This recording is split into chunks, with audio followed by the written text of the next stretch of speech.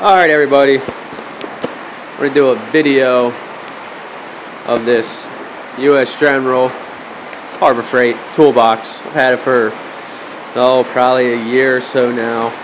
Just wanted to go over and just show you the quality of what it is for what it is. Being, you know, for price wise, I, I don't think it's a bad deal. I have the uh, the bottom, the top, and the uh, side box. And I mean, the side box here, it's where I, you know, it holds a lot of stuff. It shelf's crooked because the one clip fell out on me. It's my own fault. I just got to put it back on. So don't diss Harbor Freight for being crooked. but anyway, I got all my specialty tools in there holds a lot of stuff. Actually has a little coat rack that would go up in there. You see the one clip. It dropped down on me the other day, and I didn't feel like digging it out with all this shit in here, but one of these days I'll get it. It has two drawers down on the bottom. You know. Well, you could use this for multiple purposes. The shelf's adjustable. It does have a little, like I said, a little piece of tubing that goes across the top there for you can hang coats or shirts or whatever you know.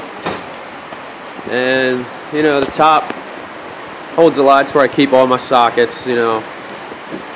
This side's all my standard. Then my metric. And I got you know up here's all the sockets.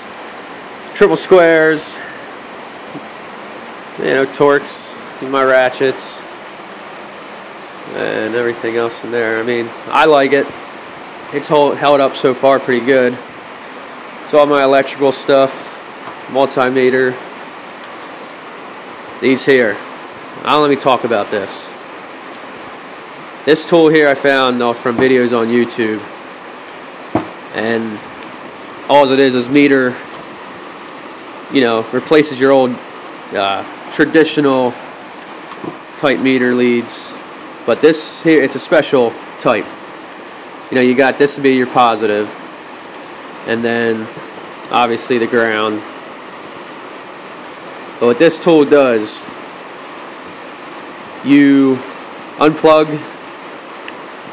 a sensor, whatever sensor you want to use. Say, uh, let's just use a you know a evap solenoid or whatever, and you're testing it for whatever power ground. And how this works is there's a video, I mean, you can watch on YouTube. It probably, you know, the guy that invented it is the one, you know, goes all about it. But this here, you plug, you know, plug in your ground, and then you were plug this into your hot, and you. The special thing about it is you can load the circuit you hit this button and it'll load the circuit for you. Does its own voltage drop. So that's why I like them it does a great job for that. They're not expensive at all. It's called the Load Pro. That's what this is called these leads. And I never use my traditional leads anymore. This this here is all I use.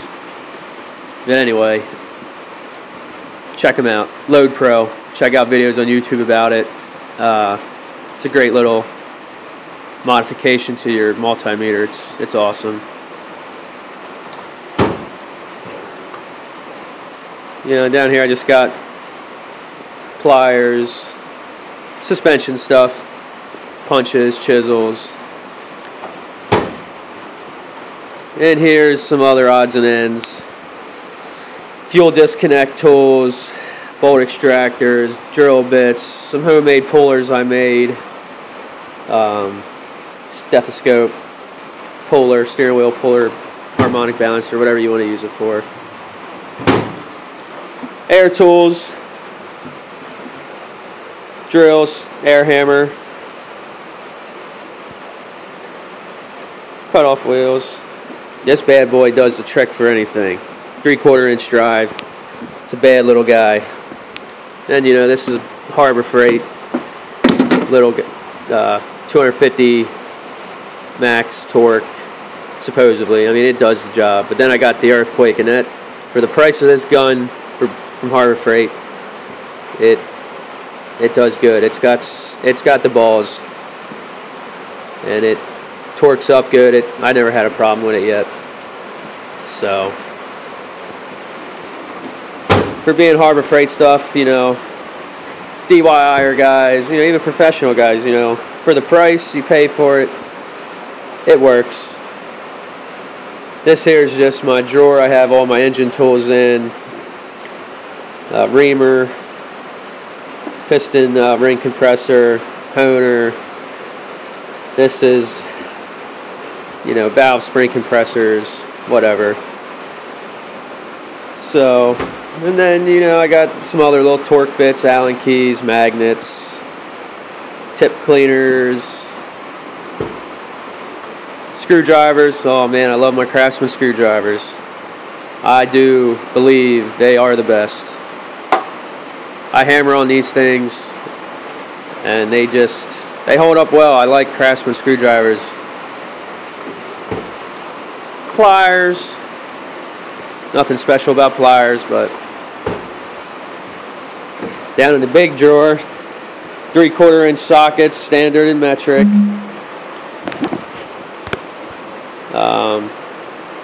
A little zip gun I use for, you know, underbody panels and such, whatever little stuff you want to use it for.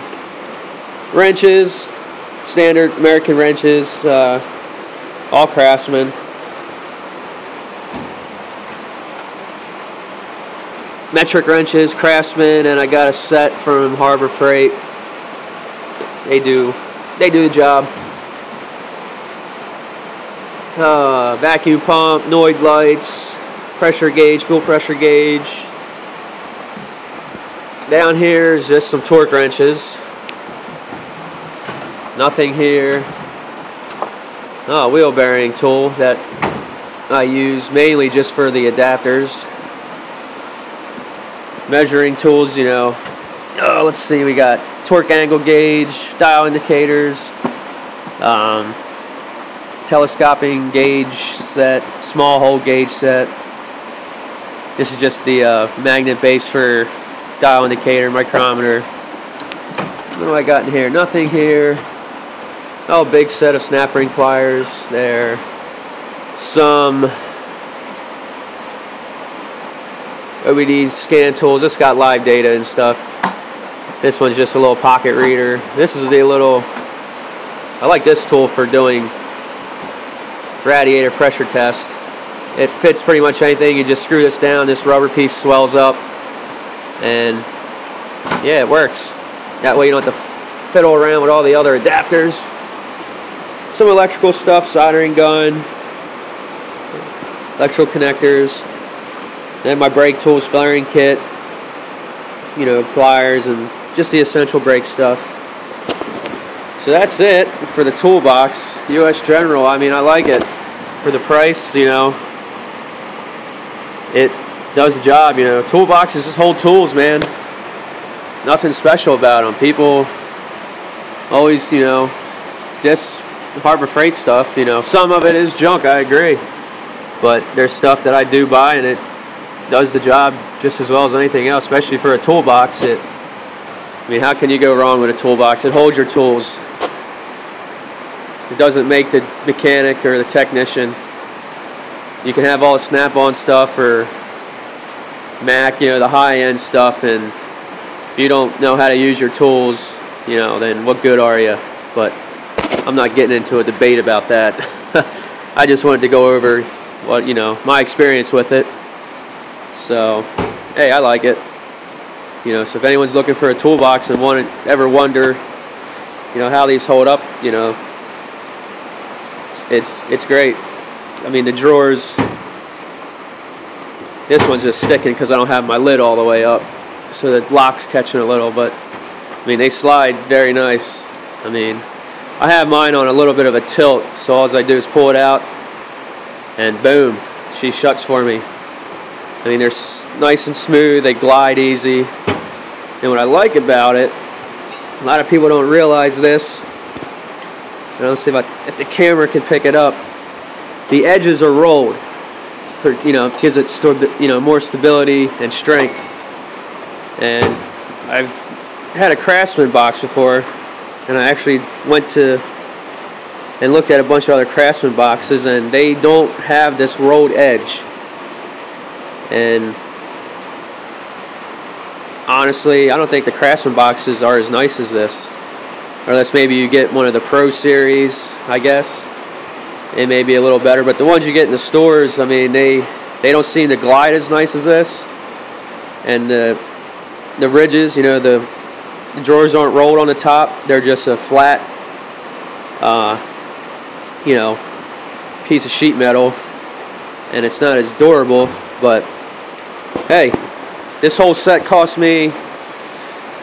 Let's see, I got these two top and bottom on sale. I think I paid under. I think I paid like 750 total, and then the side cabinet was on sale. I got it for 180 bucks or something. So, and they also make the little side cabinet. You can. It comes up to about here. It's got you know extra drawers. So, yeah, that's it. Anyone's looking for a nice toolbox for you know good price, U.S. General, baby. So, if you want to comment, like, subscribe, you know, I've got a new channel going here. It's Gregor's Hilltop Garage. Right here we got a Ford Focus, doing some work on, just replaced uh, resistor pack on it, blower motor resistor pack. I got that video. It's going to be uploaded. It's a little short, quick, you know, tell. Ooh, thunder. Ooh. So, yeah. It's got some AC issues. It's got a small leak. So I just charged it up. Just, you know, my dad's car.